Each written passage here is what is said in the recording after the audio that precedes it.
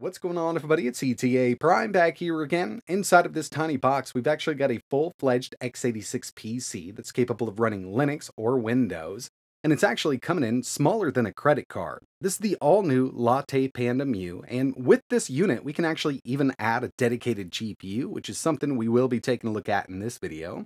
But getting right down to it, as you can see, it's very reminiscent of something like the CM3 or the Compute Module 3 from the Raspberry Pi Foundation, but we've got a much more powerful CPU. This is not using an ARM chip, this is actually using an x86 CPU, so we can easily install all kinds of Linux distros. It supports Windows 10 and Windows 11.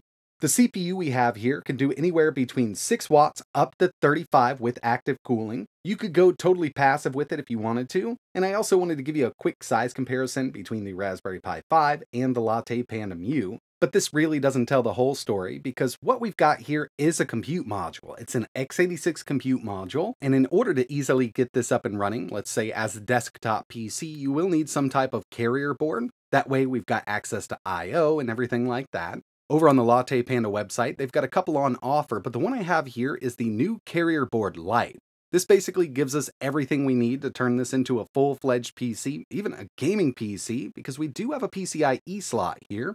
It is an X4 slot, so we can go with the lower end GPU, but I guarantee we can up the GPU performance on this little setup. The Latte Pan is coming to us from a company known as DFRobot, and they do make custom PCBs. That's one of the big reasons they're launching this as kind of a compute module. Over on their website, they've got a couple use case scenarios, like a NAS carrier board, a router carrier, a graphics carrier, and they've even got a cluster carrier, so you can add several of these MUs together to get a lot more performance out of the whole setup. But we've got the carrier board Lite for the Mu here, and it definitely offers everything that I'm going to need for this little board to get set up, even with a dedicated GPU. The carrier board Lite has two USB 3.2 ports, gigabit Ethernet, two USB 2.0 ports, HDMI 2.0, USB Type-C which is only for power delivery. We've also got a 5.5 millimeter barrel jack for power input, and this is going to go hand in hand with that PCIe 3.0 X4 slot that we have here. The only way we can send power to that slot is using the barrel jack for power, and this supports 12 volts up to 20, so we've got a wide range for that input power. It's got one M.2 M key, 2230 size, one M.2 E key, again 2230, RTC battery socket, CPU fan socket.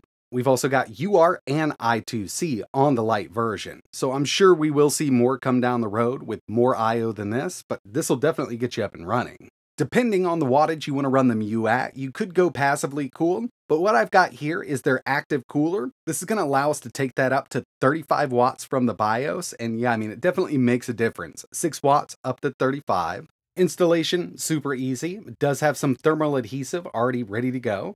Got three screws to go in the bottom here. It's going to mount it right to the Mu. Now it's time to get this inside of the carrier board, but I wanted more storage, so I'm actually going to be adding a 1TB M.2 2230 NVMe SSD right here. Now this Mu that I have did come with onboard storage, 64 gigabytes of eMMC storage, but I definitely need more here to do a lot of testing with it. Once we've got that installed, we can go ahead and slot the Mu right into the carrier board. Got a couple screws that'll hold everything down, plus we've got that bottom plate that comes with the carrier board Lite.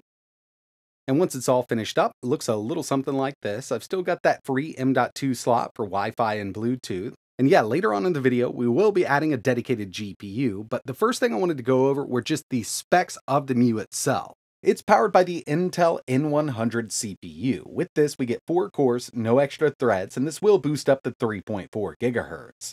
8 gigabytes of onboard LP DDR5 RAM at 4800 megahertz. this does have an optional version where you can get 64 gigabytes of eMMC storage, but you can opt out of that if you want to and just use an NVMe or even a SATA drive with a carrier board. It supports Windows 10, Windows 11, Ubuntu 22.04, and basically, since we're running an x86 CPU, all kinds of Linux distros are going to run just fine on this machine. As for expansion, depending on the boards you opt to use with this, you can do up to 9 PCIe 3.0 lanes, up to 4 USB 3.2 ports, up to 2 SATA 6 gig ports, 8 USB 2.0, four UART ports, four I2C ports, and with the right board, up to 64 GPIO pins. It'll also support one EDP 1.4 display, so we could plug that directly into the board itself, three HDMI 2.0 ports, or if you wanted three display ports, you could do it that way, and we could do up to three signals out at one time. So if you wanted two HDMI ports and the EDP connected, it could totally be done with the right carrier board. I'm running from that NVMe drive that we installed in the carrier board. And as you can see, we've got the Intel N100, just four cores, no extra threads, eight gigabytes of DDR5 at 4800, and we've got the built-in Intel UHD graphics with 24 execution units. And the BIOS on this thing is wide open. We can get in there, go down to 6 watts up to 35, and I've maxed this out at 35 watts. Wanted to show you here, we'll run a stress test. So this jumps up to 21 just on the CPU. All cores will boost up to 2.8. And let's put a load on that GPU just to see what happens here. Even at full boat, I mean 100% on the CPU, all of the cores, and the iGPU were around 30 watts. You'll see it fluctuate between 28 and 32 every once in a while, especially while gaming with higher end games. But yeah, I mean, it's a great performer at this kind of wattage. I've run a couple benchmarks at 6 watts and 35 just to show you the difference. Checking out some web browsing here, not too bad. Now, one thing I really want to do with this is install Linux on it, so definitely keep an eye out for that video. Since we already had Windows here, I figured we'd go ahead and test it out. Everything populates pretty quickly.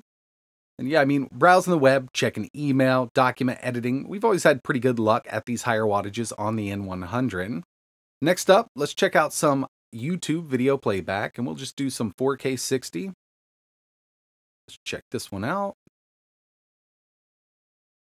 Wanted to pause it. Stats for nerds, full screen. We are at 4K. And when you take the N100 up to around 12 watts or over, 4K video playback becomes really, really smooth. At 6 watts, you will get a bunch of drop frames here. We're only at 2 right now, but we've got this thing maxed out. But overall, we've had really good luck with 4K 60 playback on this chip and other systems, so I suspected we'd see the same kind of performance here. The next thing I wanted to take a look at were some benchmarks, and as we know, we can go down as low as 6 watts on this, up to 35. First up, we've got Geekbench 6, and at a 6 watt TDP, single core here is 784, multi 1937, and at a 35 watt TDP, 1216, and a multi of 3007. Remember, this isn't really going to pull 35 watts on the CPU side of things. That's just the TDP we have it set at, or around 22 watts just on the CPU. I also ran one graphics benchmark for the built-in iGPU, 3DMark Night Raid with a 4680. And of course, this is a really low score, but remember, later on in the video, we're going to be adding a dedicated GPU to this little system. And for anybody interested, I did run a speed test on that 64 gigabyte eMMC, Definitely not the fastest. It's probably UFS 2.1, what I'm thinking here, just looking at the readings, but it could get you by, especially with a lower end operating system, lightweight like Linux. Now I want to jump into some iGPU gaming with the N100. And first up, we've got Hades. Now I'm connected to a 120 hertz display, and I was hoping that we could do 120 with this game, given that it's an easier to run indie game. Not quite there, but locking this down at 60 is a really nice experience. And with some other indie games that I tested, 2D and 2.5D, never had an issue with the N100 in this new Latte Panda. Moving back to some older games that I still like to play, we've got Left 4 Dead 2 900p, low settings, and I'm pretty sure we'd be able to handle this at low 1080. Already had the resolution set there for the next game, so I figured I'd just leave it. Not bad, and every once in a while you do see it go down to 59, something you'd probably never notice. But with these older source games, yeah, it's going to run it just fine. And the final game I wanted to test on the built-in iGPU was OG Skyrim. With this, I had to drop it down to 720p low. Even at medium 720p, dips under 60, and even at 900p low settings, we're right there underneath. But remember, on that carrier board, we can actually install a GPU, so let's go ahead and do it now. So for this first video, we're going to go with something a little lower end. This is the newer low-profile RTX 3050 with 6 gigs of VRAM.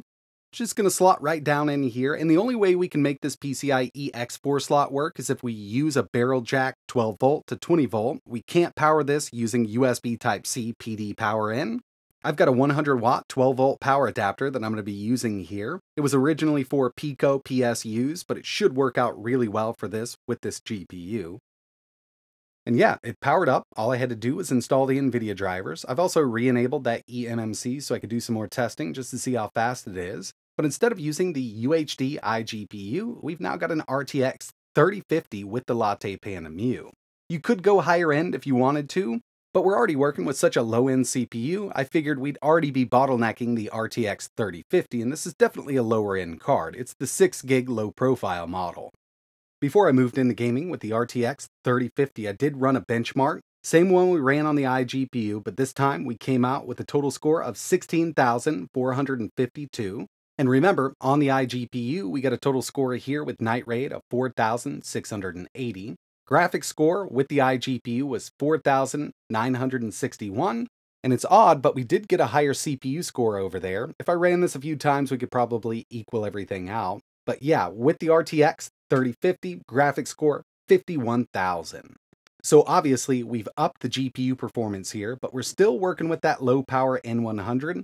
Either way, we're still going to test out some PC games on this thing.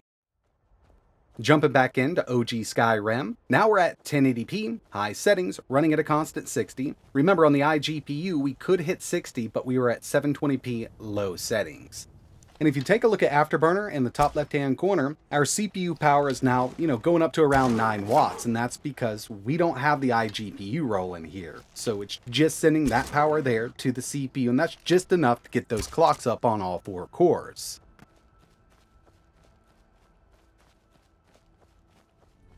Here's Fallout 4, and this is one that I did want to test on the iGPU, but it kept crashing on me. I just don't think we had enough RAM for VRAM on that iGPU and system RAM, given that we're only working with 8. But now that we've got 6 gigs of VRAM dedicated with that RTX 3050, we can play this at 1080p medium, albeit we do get a few dips here and there. And if you take a look at the CPU usage with Afterburner, sometimes you can see it hit up 100%. If I took this down to low, there's a chance we'd kind of stay around 70%, not see those dips and get a nice steady 60. But every once in a while, you see, kind of dips down on us.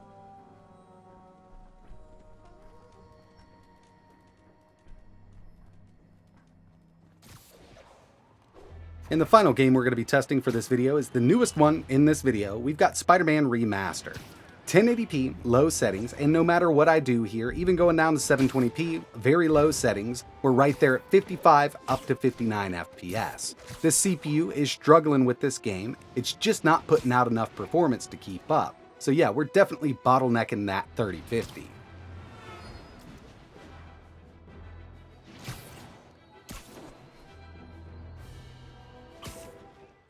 First impressions here for the Latte Panda Mu. I think this is going to be great for embedded systems. Uh, if we had a little more RAM here, using it with Windows and a full desktop experience would be really nice. But I think moving over to Linux with this is really where it's going to be. One thing I'd love to test here is a Radeon GPU with this carrier board. Right now, we've only tested that NVIDIA. I'm not even sure if we can get Radeon booting up, but there's a really good chance we could. So if that's something you'd like to see, let me know what distro you want to see running on the Latte Panda Mu, and what Radeon GPU you'd like me to pair up with this thing.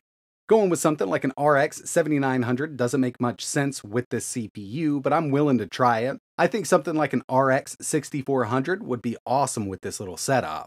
But that's going to wrap it up for this first look video at the Mu. If you're interested in learning a little more, maybe pick one of these up, I'll leave some links down below. And uh, again, whatever you want to see running on this, let me know in the comments. But that's it for this one. And like always, thanks for watching.